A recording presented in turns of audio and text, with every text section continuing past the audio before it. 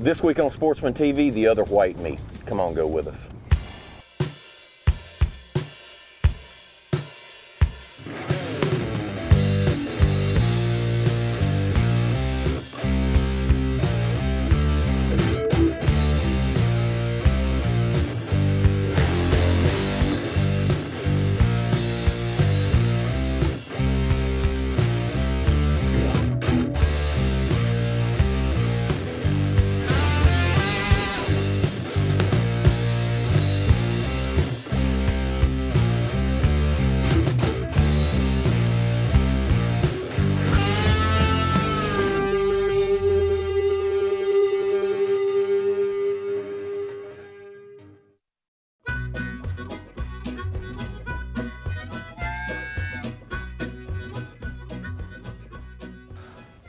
This is what it looks like whenever a net is going the wrong direction. A whole bunch of nastiness in your net and no fish. So we're definitely going the wrong direction with this one. What I'll do is I'll, uh, and I guess, turn it around. yeah, I guess the water must have just been going that direction, that hour of that day. So, So the way you have that set up, you're just gonna flip the net over and go back the other? pretty much, pretty yeah. much? How long do you like for it to set? It depends on the bait. Pogie in the wintertime, it's really not gonna draw a catfish any earlier than about a week. So it has to rot. It has to reach a certain state of decomp in order to work. So it depends on if it's extremely cold, if it's just starting to get into winter, if it's just coming out of winter, it'll be, it'll be a little different. You can actually come back in a week, that net will not have a single catfish. And then you can get here the next day, just you know, if you're in the area to look at it and it's loaded up with fish. When the bait gets right. when the bait gets right. But you know, if you think about it, oysters, crabs, shrimp, crawfish, they get all the praise. So today we're hunting the best kept secret. Smell that oil burning? You hear me? Generally with hoop nets, almost everyone that does it is gonna look for a bend in the river. The bend of the river is gonna, it's gonna be where the current, you know, is kind of washed out. Maybe it's a little bit deeper. Uh, but also, if you do what everybody else does, you run the risk of running into a lot of everyone else's net, everyone else are running into your nets. Quite a few wrong species in there, but uh, and we still have the majority of our bait, but you never How know, about I them guess. sac-a-lait in there? Oh man! so let me tell them you, nasty things, we got to get them out. Got to get them out of Yeah. here. Every one of them, if you're caught with any type of game fish Oh, yeah, I know. anything, is Right. a pretty hefty They- fine. They frown on that. They don't like it. They especially don't like it when you're actually trying to catch them.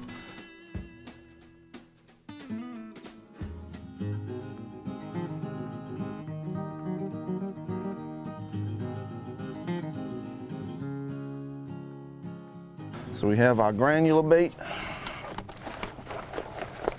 for an immediate effect.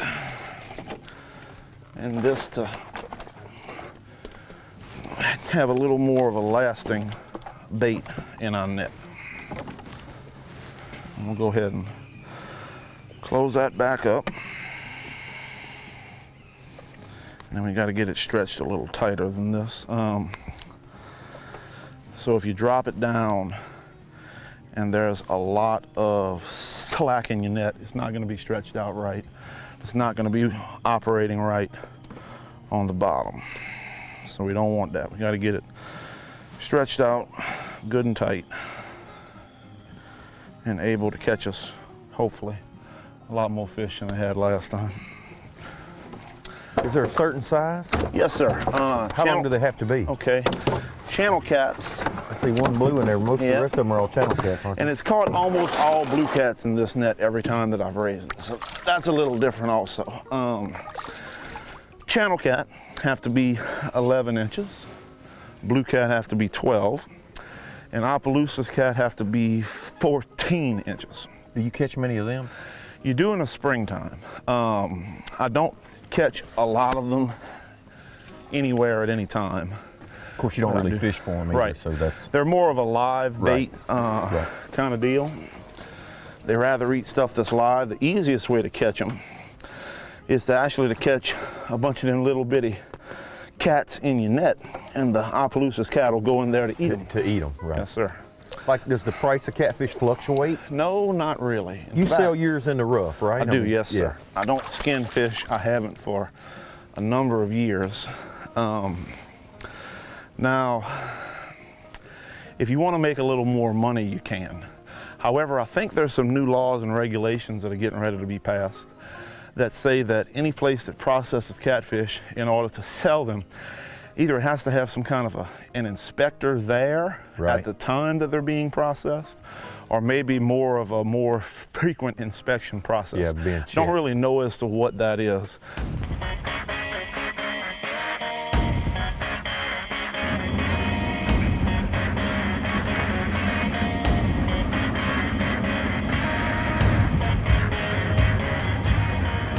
So you figure if you run 2,000 pounds a trip, that's that's a pretty good trip. It is. Um, I mean, I know you We- have some that are better, but yeah, we- rather on a minimum, you would like to have 2,000. Yes, I'd like to have that many. Uh, that's enough to handle in the boat at once.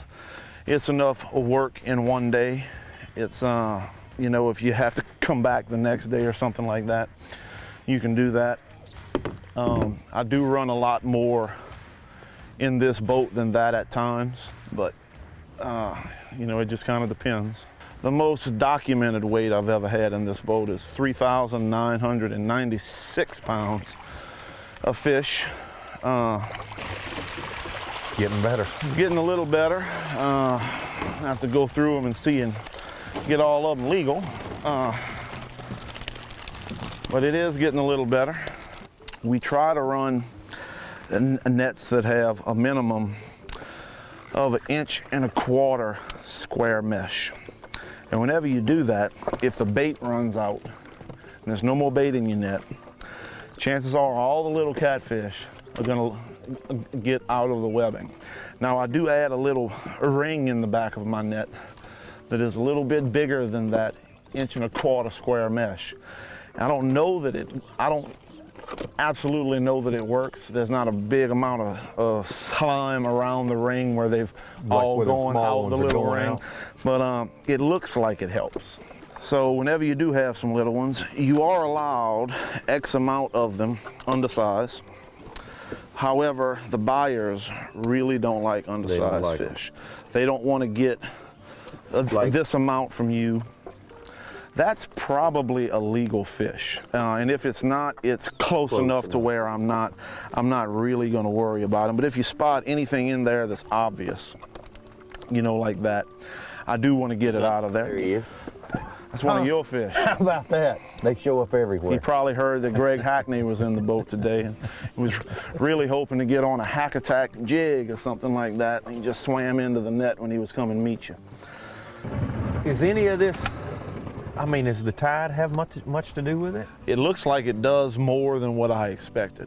I was kind of expecting more of the intracoastal to kind of control more of this More of area steady flow. that I'm at, that I'm in right here because, uh, which you know, the intracoastal only goes one direction. Right. So I would hope it would have enough flow that you would hope that you would have it. It just Yeah. depends on. I know that whenever the water is lower, it'll go in and out in different ways than whenever it's higher. But I can't, you know, I can't stay in an area where I'm not making money for very long. right. And obviously, you're definitely not making any on this trip.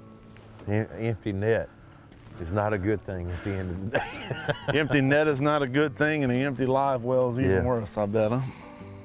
A lot of little fish. We're gonna go ahead and let those out of there. Um, 'cause I don't want them to get caught up and die for no reason. Can't use them. Gotta let them out. The majority of the nets that I brought down here were 30 inch diameter. And that's a pretty common net. Uh, you know, the majority of the nets that you're gonna run across everybody using, that's not doing it for a living, you know, kind of stuff like that. Obviously, whenever you get a net, it's not a, a- a black or green. It's gonna be, it's gonna be white. It's gonna be new, white nylon. Um, And then you have to coat the net and there's a couple different deals that you know you can do with that. I'll just leave that right there. I try to uh, after I after I get a lug with legal catfish in it. Of course, I don't want to dump a bunch of a mixed catfish and bait and Right, stuff like that in there. So we'll we'll drop another one down and uh, all that we basically try to do is get it about right there and then you roll it and uh, you can drop them right in a lug. When you have over a lug, they're still going to spill out, but you can dump them into into numerous ones if you have a little help or you know you know what you're doing. It's uh, always good to move the catfish out from under where you're dropping a bait in because uh, you don't want to get that granulated stuff all over your fish any more than you have to.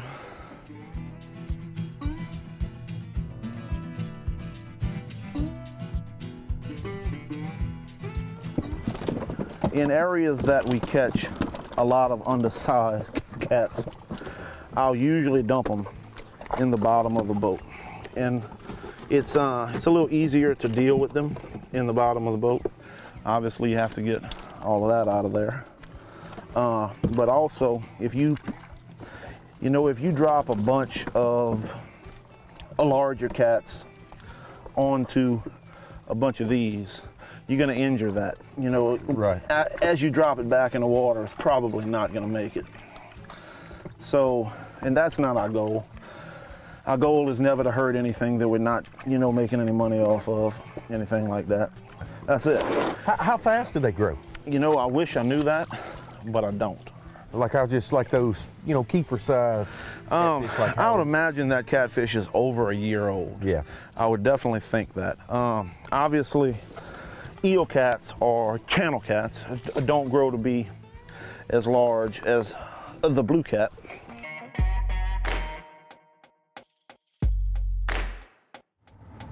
I look ready, don't I? I'm worthless as tits on a boar hog today. I'm just, I feel like I'm just in the way. he just, he just talking and do, he just never misses a lick, tying knots. Just, you know, I'm just standing around here with all thumbs.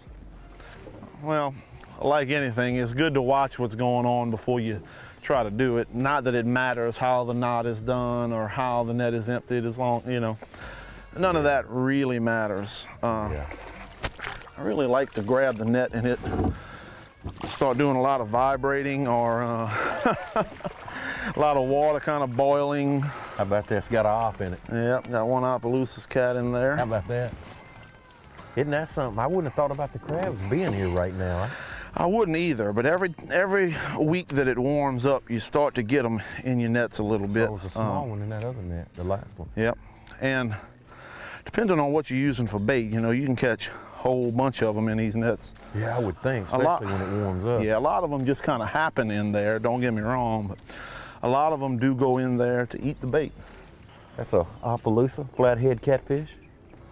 That I, I hate to say it, I, I like them all, but he's my favorite. They are good, that's they for are sure. fine eating, fine eating. Very unique. So this here is a mixture of soybean and cheese. Uh, the cheese that we bought was kind of loose and kind of wet. So we needed something to hold it together. We added a little bit of that meal in there. This is, That soybean kind of works like a cracker then. yeah, I That think so. Kind of, kind of holds it together Yeah. a little bit. This stuff right here is actually designed for cows. Uh, it's a cattle supplement. You can buy it almost anywhere.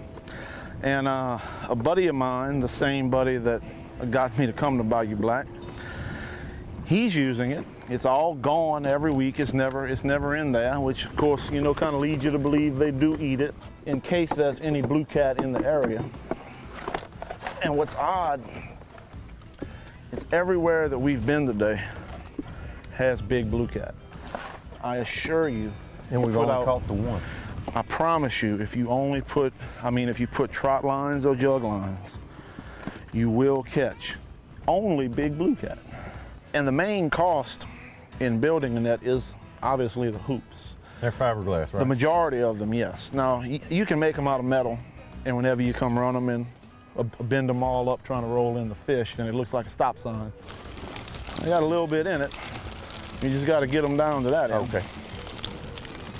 Go ahead and drop that. I'll raise up on this end. Shake them on down, and uh, even though this is an inch and a quarter net, it's always caught a bunch of little bitty fish. And I would it think, doesn't I looked at that. Some of them look like they ought to be able to go through the. Yeah, they uh, should probably be able to go through. And uh, we'll probably have to release most of them. Majority of them are blue cat, and the majority of them are going back living. in the water. The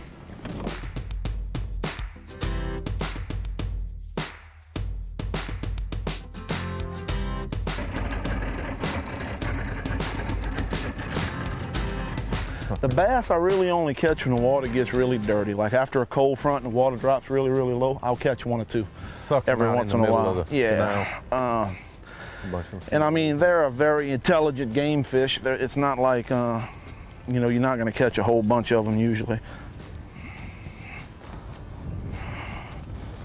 Oh, I found the grass we were looking for. That's a good hydrilla in here. Yeah, I thought I lost it. I'm glad we found it. Got a few fish in it. Yeah. I'm making the water boil a little bit.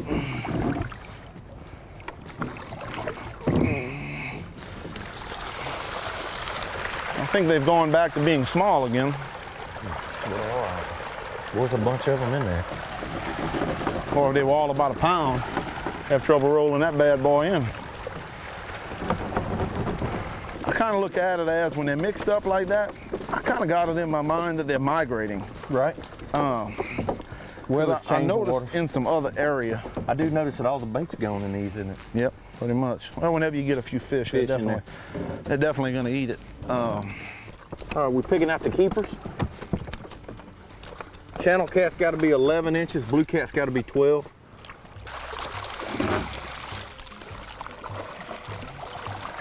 well, they're legal. Pretty good little load in there. I mean, not what he's used to. Well, today I'm used to uh, absolutely nothing, so uh, that's a pretty good load for the day. heavy cover hoop net. Hack attack heavy cover hoop net. It sounds good. It does. Got a nice ring to it. It does. Sound.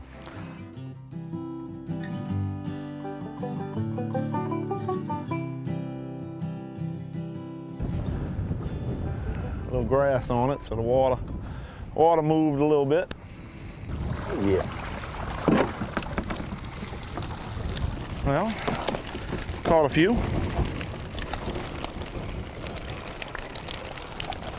That's what I've been catching, like I told you. I mean, uh, uh, it doesn't have quite as many as it's had. There's always, there's always one in there that doesn't want to come. Uh, that's where, you know, if you have your nets coated really well, They don't they don't hang up nearly. The average net that I use is bigger than this, but coming to a new area, not knowing anything, we're definitely bringing the nets that I can I can build for hundred dollars, and not the ones I have to build for three hundred dollars. You know, so I'll drop her back in. Maybe she'll catch something next time. I, I haven't said this, but I got a good feeling about this one. I almost said it about the last one. I'm glad I did. Of course, it did have a lot of stuff in it. But this is going to be the one right here. I feel it. Huh? It sounds good in there. I haven't got a visual on it yet, but it sounds good. Don't sound like crabs unless it's, I thought I saw some bullhead in there. they all look pretty good to me. I do see one, and I do see. So you can get the nets up when they have that much in them. You just kind of try to get the catfish all to the back of them where the, you know, it's the where the opening is, and uh, kind of work them like that. So then all you really got to do is rotate them on down in there. And a little more garbage in there than what I'd like, but we'll get it out in a second. And they were pretty much all keepers too, weren't they? Yeah, pretty much all keepers, and they have been. You know,